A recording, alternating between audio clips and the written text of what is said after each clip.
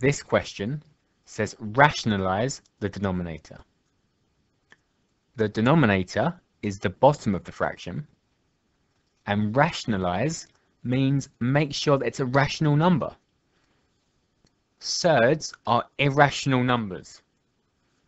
They can't be written as fractions and if you write them as a decimal they'll go on forever without any pattern.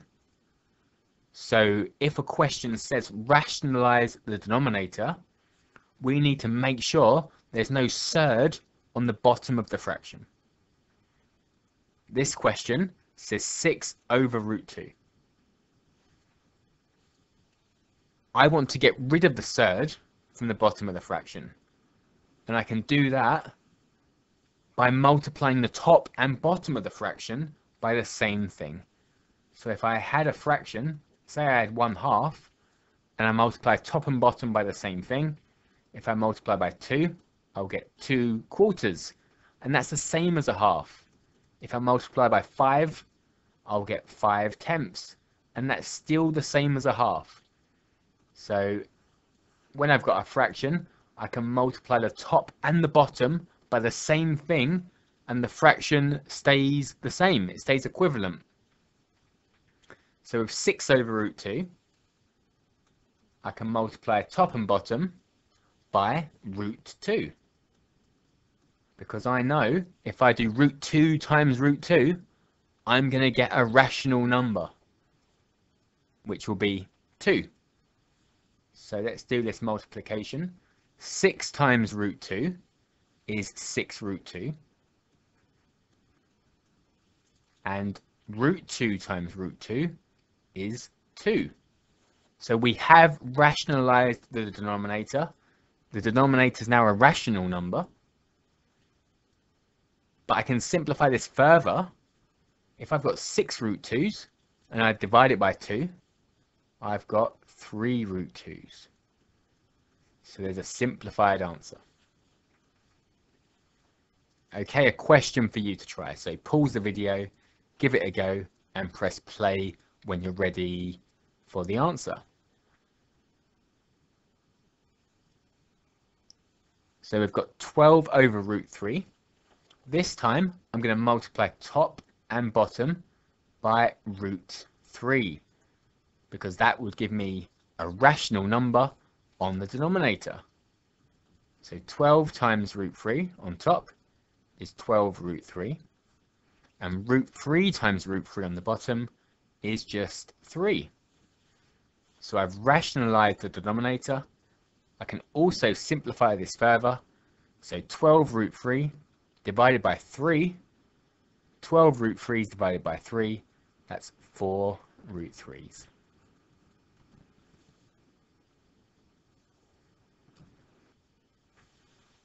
Okay, here we've got a different question. This one says 6 over 2 plus root 5. So we still want to rationalize the denominator. We still want to get rid of the surd from the bottom. But this is more complicated because we've got 2 plus root 5 on the bottom. So we're still going to multiply top and bottom of the fraction by the same thing. But what can we multiply by that would get rid of the surd from the denominator? What we're going to use here is the difference of two squares. So if you remember when we have something like x plus 2 times by x minus 2, when we expand double brackets with 1 plus and 1 minus, so we'll do x times x, we'll do x times them both, and then 2 times them both. x times x is x squared. x times negative 2 is negative 2x. 2 times x is 2x, and 2 times negative 2 is negative 4. And when we collect the like terms, the middle terms, the negative 2x plus 2x, they cancel out. So they disappear. So in this example, it's just x squared minus 4. And this is what we're going to use to get rid of the surd from the bottom. So where we've got 2 plus root 5, we're going to multiply by 2 minus root 5. And whatever we multiply the bottom by, we have to multiply the top by as well. So if we multiply top and bottom by 2 minus root 5, we're going to get rid of the surd from the denominator. So let's do these multiplications.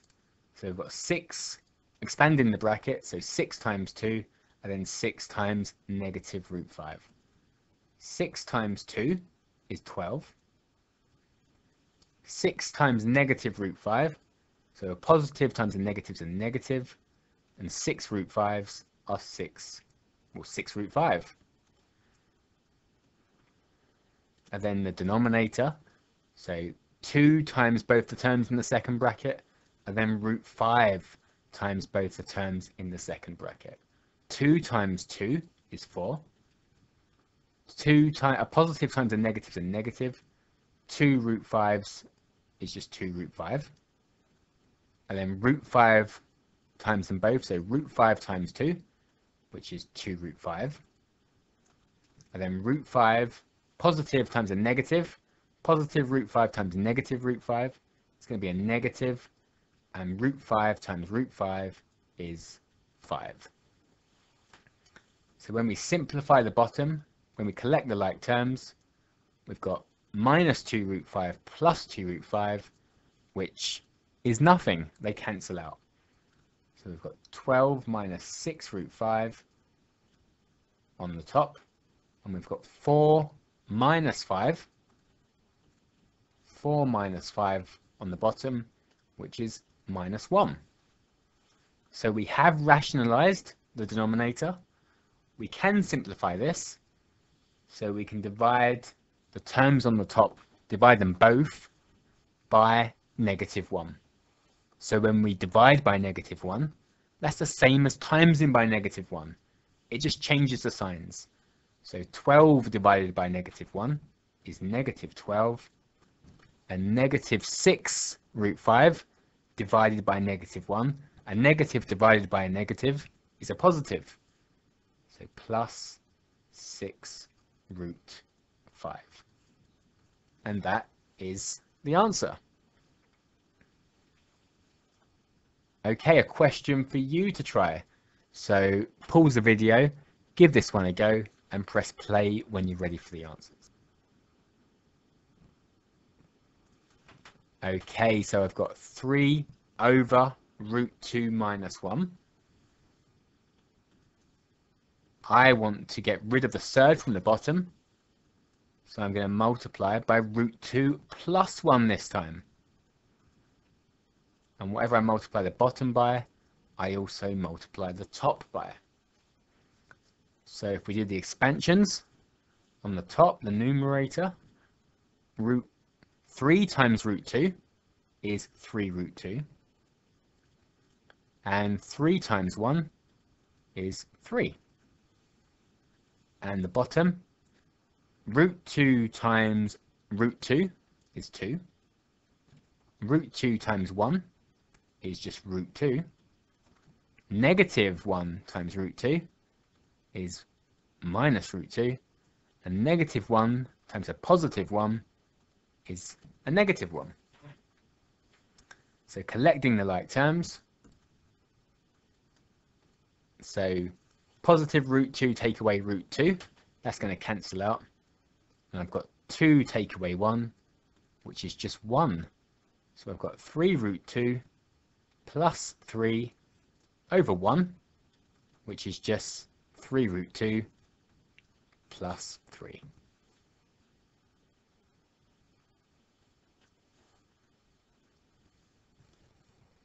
One more example here. So it's a very similar question to the last one, just with a more complicated numerator. So here we've got 2 plus 4 root 3 over 5 minus root 3. So the process to rationalize the denominator is the same as the last question. So the denominator is 5 minus root 3. So we're going to multiply top and bottom by 5 plus root 3.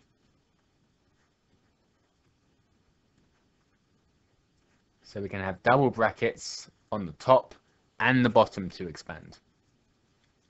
So let's just do the expansion. So on the top, I've got 2 times 5, which is 10.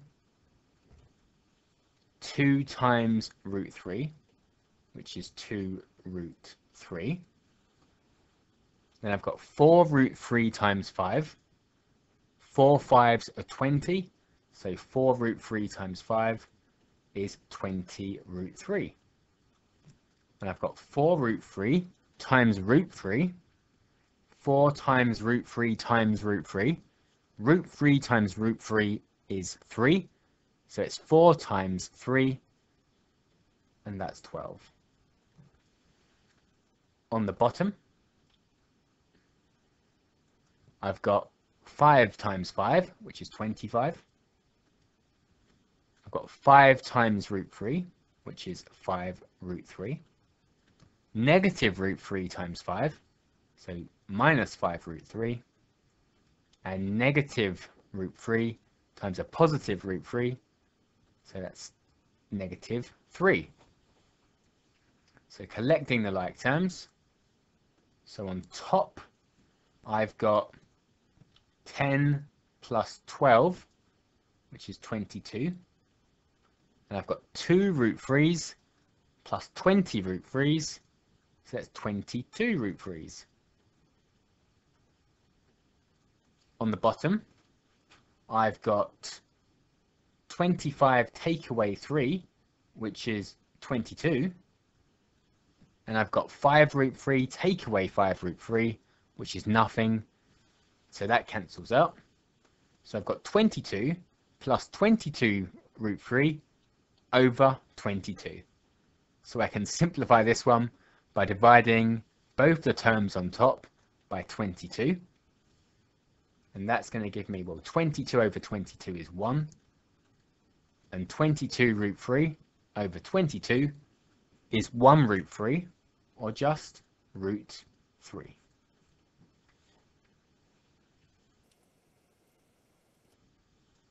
Question for you to try, so pause the video and give it a go.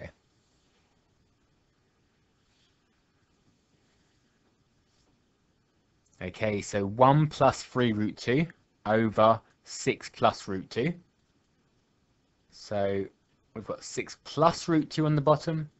So to rationalize the denominator, we're going to multiply by 6 minus root 2. And whatever we multiply the bottom by, we're going to multiply the top by the same thing. So let's do the expansions now. 1 times 6 is 6. 1 times negative root 2 is going to be negative, and 1 root 2 is just root 2.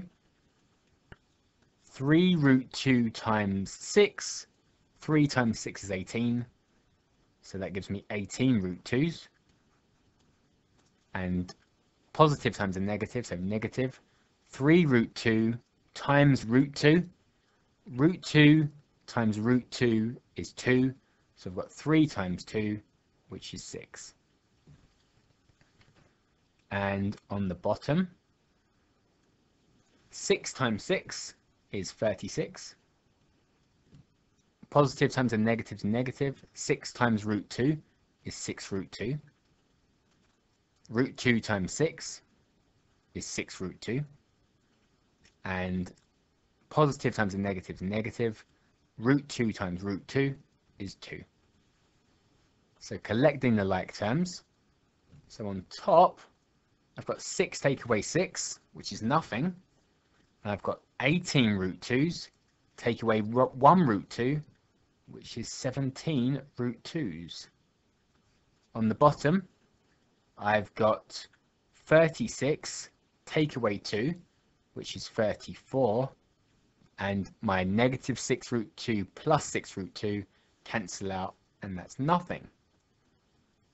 So I can simplify this. I can divide top and bottom by 17, which will give me root 2 over 2.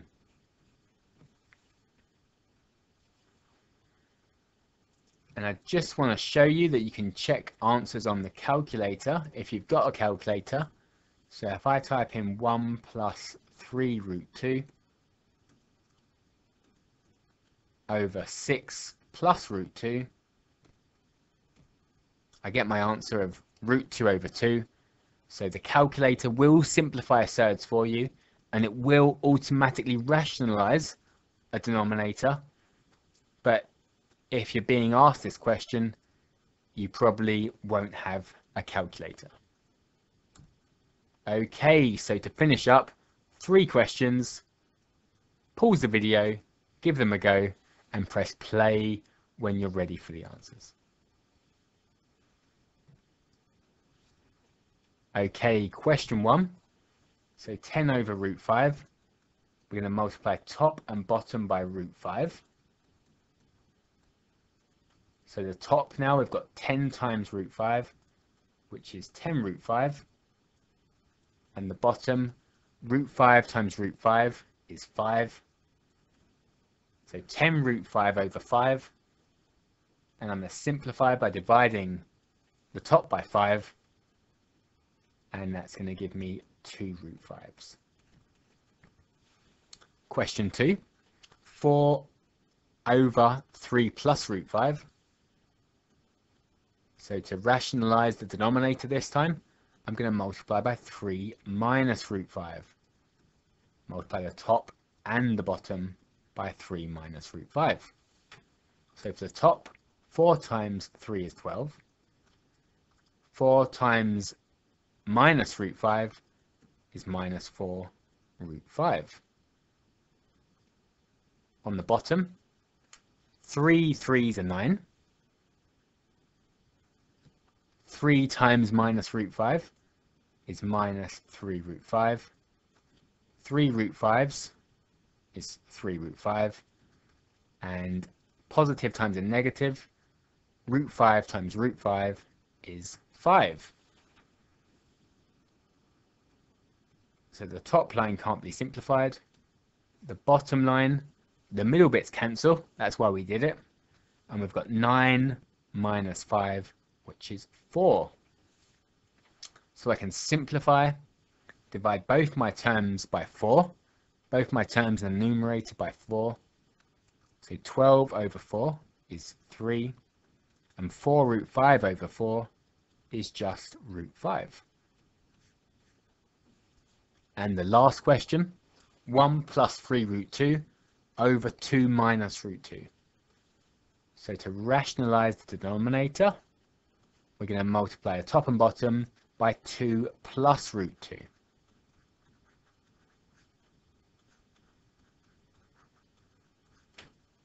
So, expanding the top, 1 times 2 is 2. 1 times root 2 is root 2. 3 root 2 times 2 is 6 root 2. And 3 root 2 times root 2. So 3 times root 2 times root 2. Root 2 times root 2 is 2. And 3 times 2 is 6.